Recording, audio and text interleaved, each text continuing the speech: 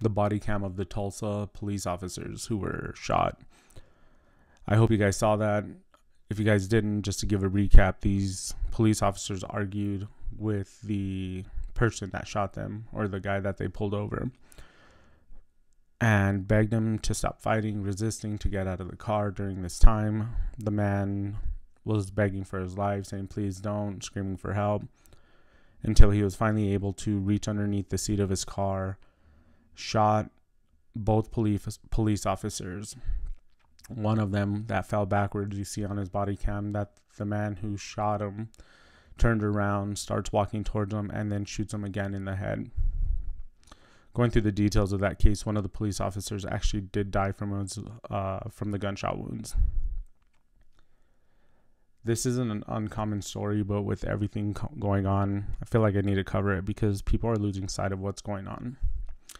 So, right behind me, we have pro- protesters demand cops let themselves be stabbed or shot by the New York Post. This actually came out on the 14th, but kind of in lines with the, cops also being killed. The reason being is so many people believe that we need to abolish and get rid of police. Well, this one right here, it's crazy, but in a protest on Sunday's anti cop riots in Lancaster, uh, officers may not defend themselves against lethal force if their attacker is a minority. And I'm just saying right now, this between what's going on, this, what police officer is gonna want to do the job. But even go away from the police officers wanting to do their job. I think a lot of these people don't know a whole lot of what's going on. They're too young. I don't know what it is. But the main point of this video is to bring some insight to some people. Police officers are a natural deterrent, not even just being in the community it's a natural deterrent that if you do something wrong, a police officer, the cops may be called and show up. The same reason if there's a police officer living in the neighborhood, there's a less chance of crime happening in that neighborhood, and it's usually it even helps property value. And the reason this is important is because there's a lot of criminals out there that,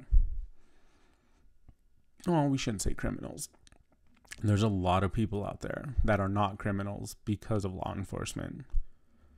I've always broken down criminals into some basic categories. You have, well, we'll just jump into examples. So we'll just say you have a car parked and you have a wallet sitting on the seat. You have one person that'll walk by, check the door handles, and the car's locked so they don't do anything. They just go about their day. You have another one that comes up, doors were left unlocked, will open the door, take the wallet, and go about their day. And then you have the final one, which is kind of what we see a lot of nowadays, or not see a lot of, but the ones that just make it happen. And that is the one that sees the wallet, busts the window, and takes it. They're going to get what they want. And a lot of criminals that you see now, that's what they do. If you think about if police went away, how many more criminals would come out because of the chance of consequences? So, like this protest about cops should just accept their fate and let themselves be to be stabbed by a minority. Really, if it's a minority committing committing a crime, the police can't do anything to stop it. Because if you're a police officer and you get called on a minority committing a crime, or at least when you show up, it's like what I said in my other video. Nope, I'm not doing it. I can't do anything about it. So this person literally has the upper hand. If he decides to threaten me or anything like that, I'm not going home tonight. So I'm going to go about my business. This is going to increase crime in poverty stricken neighborhoods this is going to make things so much worse because why would a police officer show up and even try to make a difference? Because people forget that it doesn't matter what color you are, what race you are, anything like that. Some people just are bad people, some people are just evil. And if you give them the upper hand to say, if you're a minority, the police can't do anything unless you're willing to stop and go with them, you can get away with anything you want. Crime's going to go up. Why do you think so many people in these protests or riots have been arrested and we find out that they have criminal records later on? Yeah, they want the police to go away. Look at what they like doing. They don't want consequences. So it's like, yeah, let's jump on this bandwagon. Let's abolish police. Let's tell police they're not allowed to do anything against minorities. And then at the end of the day, the people that are going to suffer are the people in the neighborhood that don't want to live like that anymore. Because criminals don't care about color. Criminals want to do what they're going to do. And we're already giving criminals a voice to stand on as long as they're dark enough to stand on it to say, no, you have no right to do this. You are being racist. People need to stop pulling this racist card, but really, even we're not going to be able to get them to stop. So people need to start standing up against it. Ignore it. I'm like, we know we're not racist. This country isn't a racist country anymore, but they had to go out and find it. So if we keep doing this to police, we're not going to have any police left. And really the only places that there are going to be police are these suburban neighborhoods that they keep bitching and complaining about saying that those are the issues. Look how they show that we don't need police there. If you start killing off police crime's going to go up. Guaranteed. There's no deterrent. There's nothing like that. Go away from crime. Look at colorado. There was people smoking weed illegally and then after it passed, look how many more people started smoking weed just because it was legal and they wouldn't get in trouble. That simple deterrent makes a huge difference. And people fail to see that.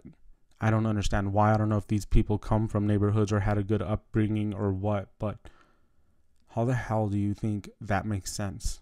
Someone got up, decided to help, and then they're told that they can't protect themselves against a minority?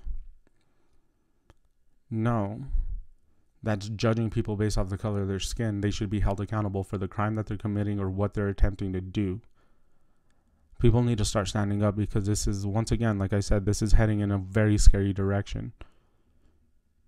I'm going to leave it with I don't know how many of you guys have studied World War II or Hitler, but one of the biggest questions that people always ask is how did it go on for so long? Like, why didn't anyone stop it?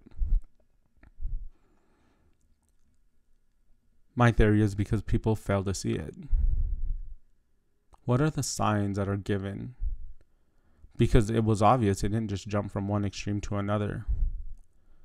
It started here, and then we see the extreme of where it ended. But what happened in between?